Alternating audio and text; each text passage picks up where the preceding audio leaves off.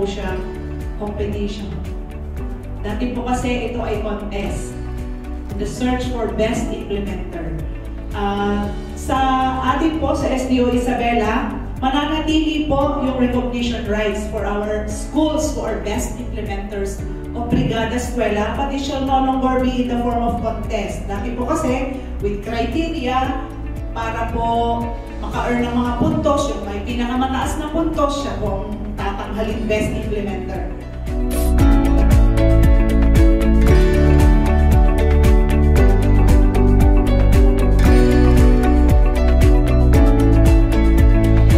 Ngayon po, sa pag-iikot po natin, lahat po, all the schools have exhausted all their efforts so that they can prepare the school.